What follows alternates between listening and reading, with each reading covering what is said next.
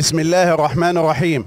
اليوم الأربعاء الموافق 25 8 2021 تم بحمد الله تحميل عدد 19 طن من لحوم الأضاحي لهذا العام وذلك لتسليمها للمديريات الآتية.